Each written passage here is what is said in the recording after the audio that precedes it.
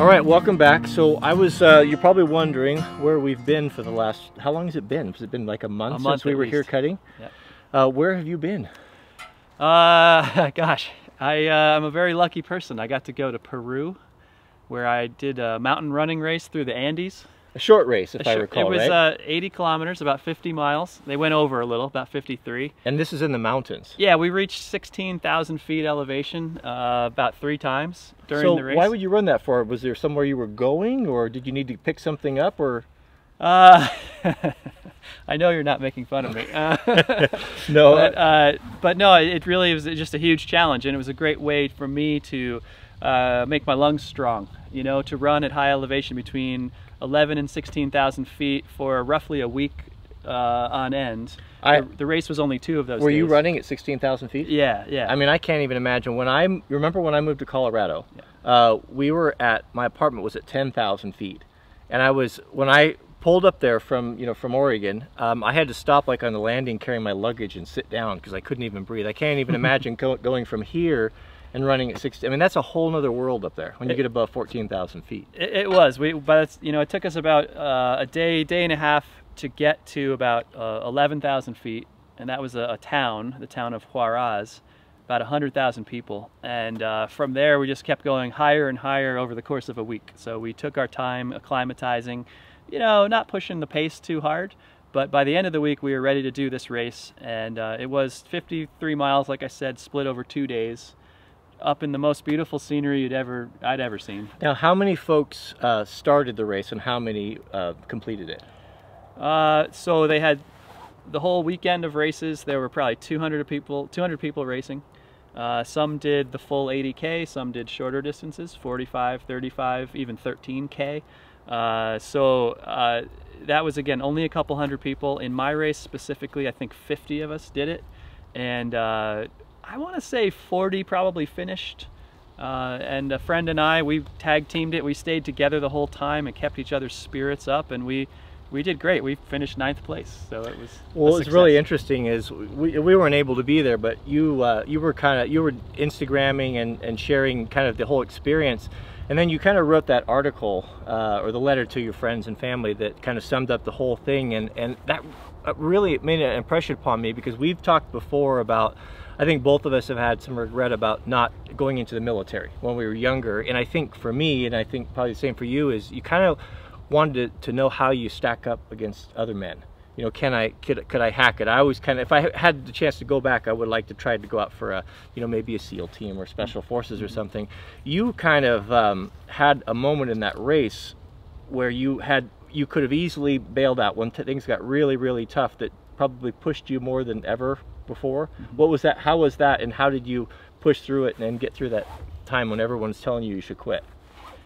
I heard those words uh, directly from people around me. You know, it's okay. You don't have to finish. And I, for the first time in my life, I actually started to agree with it. To start to think, you know, this isn't super fun. It's Can I'm- you set the Can you set the the, the situation where, where Yeah. where we're at? well, It's it's nighttime, correct. freezing cold. It had begun raining in the afternoon, so night came on earlier than I would have hoped. Um, and should we re- rewind a little bit and actually set the scene if this was actually in the Alps? Yeah. So, you know, I was lucky enough to actually go do a second race after my Peru training. Uh, the Peru tra- trained me to run at high elevation very well, and then within a couple weeks, I found myself in Europe running around Mont Blanc. Uh, I was going to do 100 kilometers. That's uh, not the pen. Yeah, it's, it's just as beautiful. Yeah. Uh, but uh, it's inspiration for the it's, it's right. exactly that. Yep.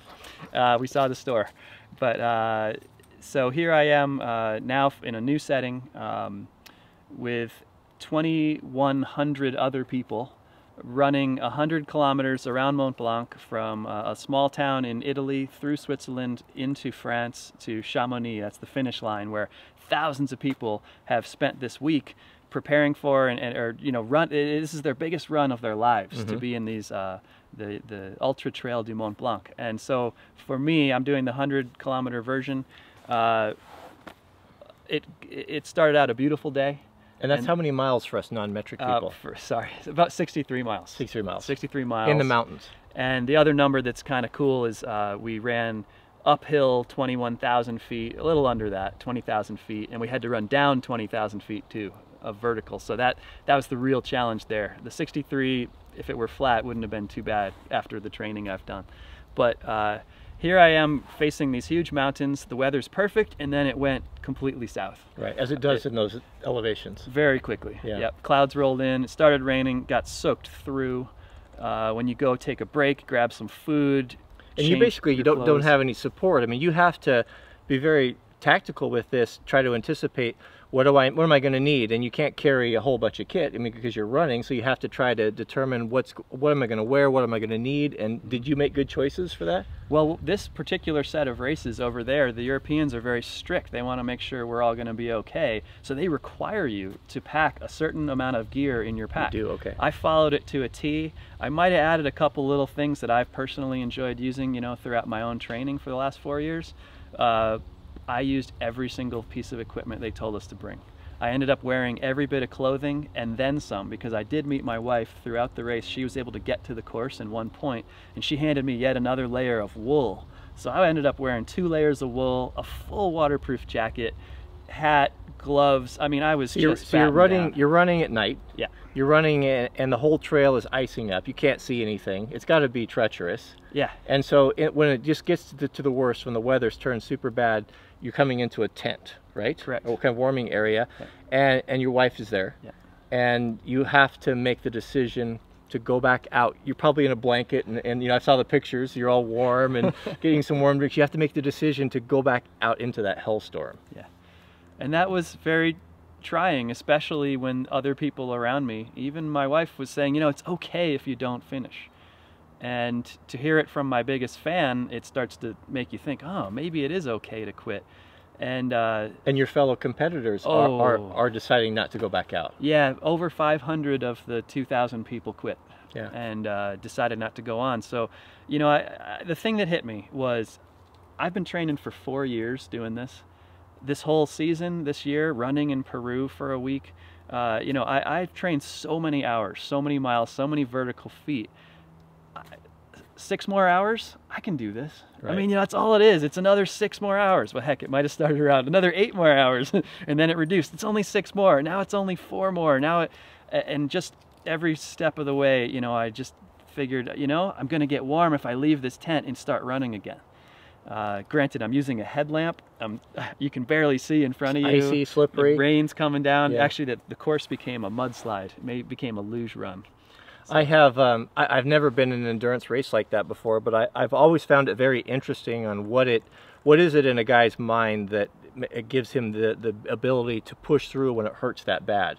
And when you read through and you and you read interviews of guys that have maybe been through like the BUD/S training or been through Hell Week, the thing there's a common thing that comes through is they don't look at the big picture. They said the guys that wash out and the guys that give up, they become overwhelmed by the scope of enormity, the enormous task ahead of them and it, it destroys their, their ability to carry on. And the guys that get through it, like, you know what, I, I need to get through, I need to take this one step. Mm-hmm. Or I've even gotten to the point where I- I don't know that I've been through anything that extreme, but I have been, you know, 20, 20 days on a wildland deployment, you know, 16 hour days where you're so tired and you're so beat down and you just like, I just don't know how I'm going to get through this, this 16 hour day. And it's a little benchmark. It's like, well, I'm just going to, I'm just going to get to this point. And then you start making these little goals and, and you start breaking it up into bite-sized pieces. And it's the only way to get through it. I would imagine the same thing happened to you. If you were to look at the whole thing, the six hours, it would have been very discouraging. There were three more mountains in front of me. Each of one of them was 2,500 feet up and 2,500 feet down over, I don't know how many miles, I forget that now. Uh, each step, each one of these three, it's like a three humped camel. I was like, oh my goodness, this is what is coming in front of me. And I'm only halfway through. I, so that, that was very daunting and absolutely one step at a time. I'm going to run up and over one mountain, see how it goes. I'm going to slow it down a little. I'm going to just think about how I'm breathing with every step and how do I stay warm. And it, it, it worked. It all added up, just like you described. Would you do it again? I- I'm thinking that my goals might change a little. Uh, maybe I'll run races that are during uh, the daytime. You know, when you're running at night, you're not getting to me the added benefit of being out there, being able to see this gorgeous Right. scenery. Right. And You've be- traveled halfway a world, half a world away to see. Exactly. And I got to see that for only about half a day, a little more, and then it just went uh, to cloud and to darkness, and that was the rest of the run for me. So that that was a little less uh, enjoyable than I I'd hoped to have. In other races, I've certainly succeeded in having more scenery. So I'm gonna I'm gonna aim for something like that. Well, it was, it was very impressive, and and I don't know. Do you have a public um, social that where you're sharing that story, or was that just for family and friends?